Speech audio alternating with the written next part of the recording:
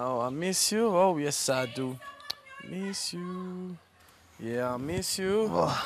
Mate, this is such a good place to be right here now. Yeah. Shade's just there. He's laying his Oh. out. If I came out of here with like without at least giving it a crack with someone, Mm. like I'd be so disappointed, man. Mate, the, the thing is, bro, you've given it a shot. Yeah. Like, you've, this is an opportunity and you've taken it. It's not like you've half-assed it. Oh, dude, I just spoke to Taylor. Man, I'm telling you, I reckon Amelia's playing a fucking game. Yeah, I, I said that. Yeah, I think she's into him, but I don't. I'm just not too sure. Like, You know, everybody wants to see Josh fall in love Mm. because he's a nice guy. So I reckon she was just like beautiful opportunity.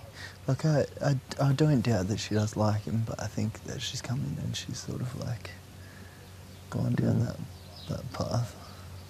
she's sneaky, man.